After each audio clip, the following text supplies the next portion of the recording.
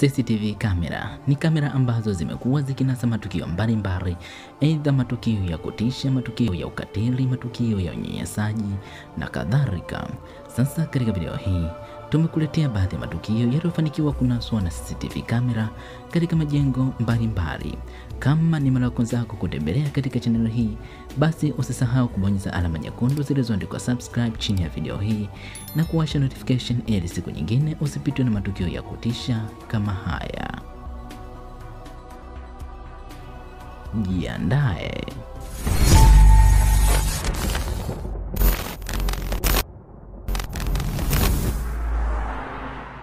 Kumbuka, katika kipindi cha korona watu wengi walifariki, lakini haijajulikana ni kwa nini. Katika airport hii, walinzi mbalimbali katika airport hiyo wamekuwa wakiripoti kwamba wamekutana na vitu vya ajabu. Katika airport hii inajulikana kwa jina la Turkmen International Airport inayopatikana huko Panama. Walinzi wa hapo wamekuwa wakijitahidi kurekodi matukio hayo ili wanapokwenda kuwaelezea watu waonyeshe kile walichokiona katika airport hiyo. Embu tazama alafu utuambie.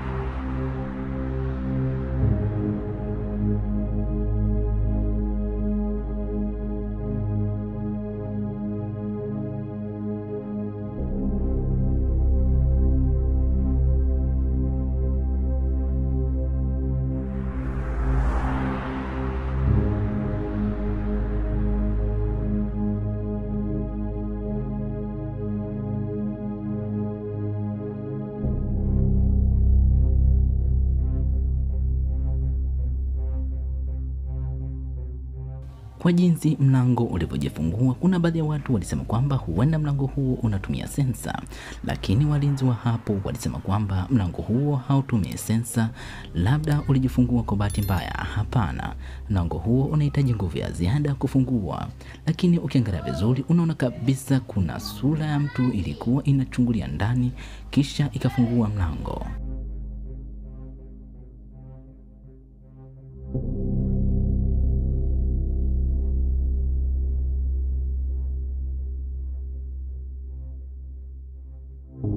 Sura ile ilionekana ndani ya sekunde chache, na mlango ulipofunguka haikuonekana tena.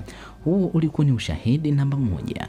Ushahidi wa pili, kuna mlinzi mwingine alisema kwamba alifanikiwa kunasa unyayo wa mtoto ukiwa umekanyaga kanyaga juu ya meza.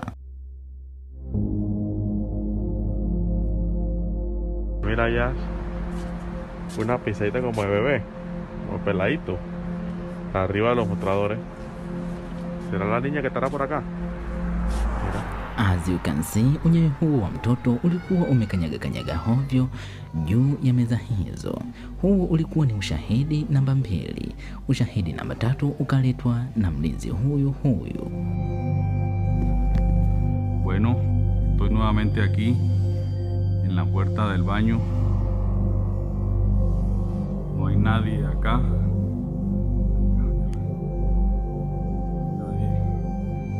Mlinzi yule alihitaji kupata ushahidi zaidi, hivyo akaendelea kumfuatilia jini yule huku akirekodi kwa kutumia simu yake. Kidogo asichokijua ni kwamba jini yule alikuwa ashajua nia ya mlinzi yule. Kitu alichomfanyia mlinzi yule hakujua, hakujua.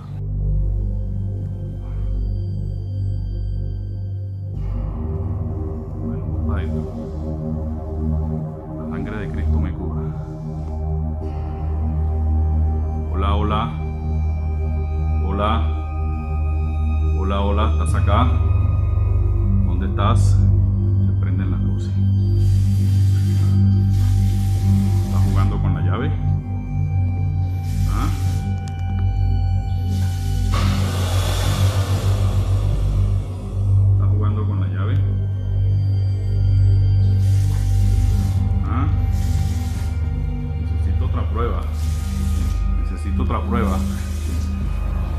marica!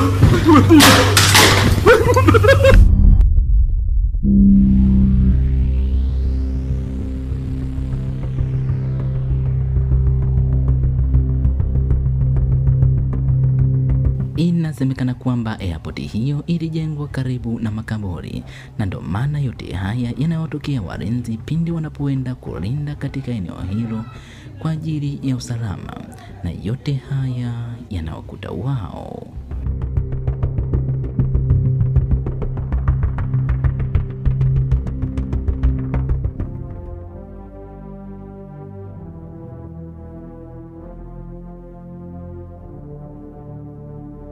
High school hii inayopatikana huko Texas ilijengwa mwaka 1916 na ilijizolea umaarufu wengi na wanafunzi wengi wakaenda kujiunga katika shule hiyo na maisha ya shule yakaendelea.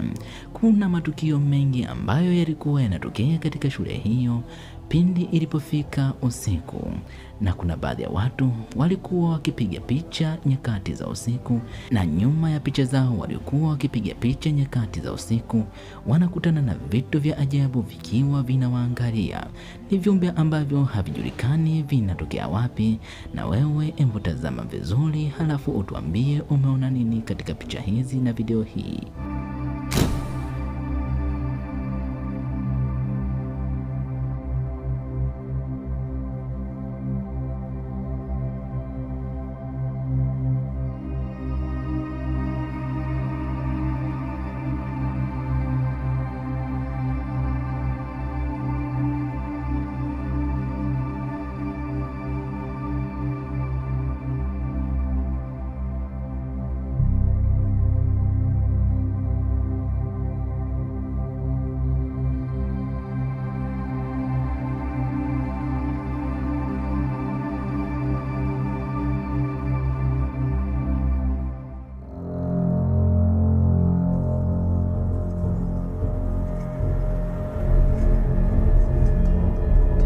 Matukio haya kiukweli yalikuwa yanawashangaza wengi, kwa sababu ukiangalia katika video hii unaona kabisa kulikuwa kuna mwanga ambao ulikuwa unakuja eneo hilo, lakini pindi mtu alipoenda kuwasha taa ya eneo hilo, mwanga ule ulionekana kupotea, na haijajulikana mpaka leo hii mwaga ule ulitokea wapi na kwa nini unakuwa unakuja na kupotea pindi mtu akiwasha taa ya eneo hilo.